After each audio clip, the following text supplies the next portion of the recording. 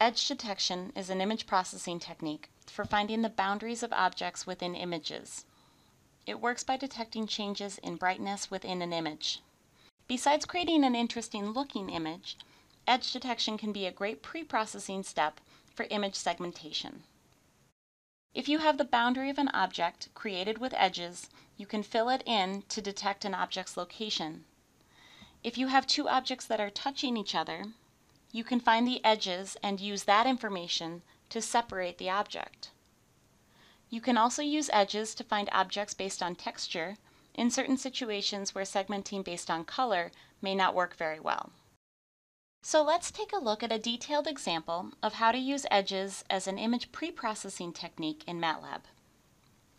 The goal is to detect all of the windows on the garage door using edges. Let's start by searching the documentation.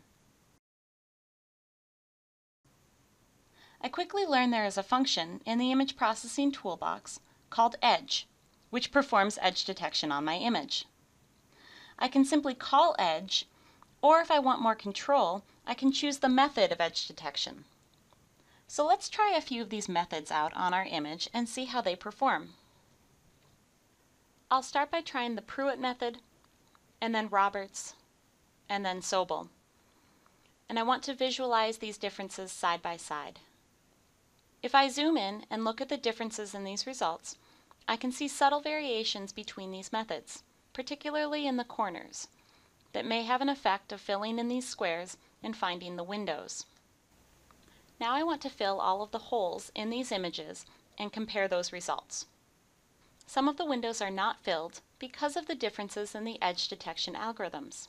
But I see that the last algorithm does fill all of the holes, so this will be the method that I choose to solve this particular problem.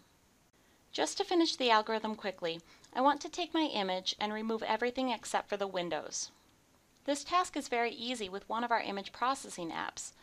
I used an app called the Image Region Analyzer to filter out objects based on certain properties, in this case, size and solidity. And I highly recommend checking out all of our image processing apps within the image processing toolbox.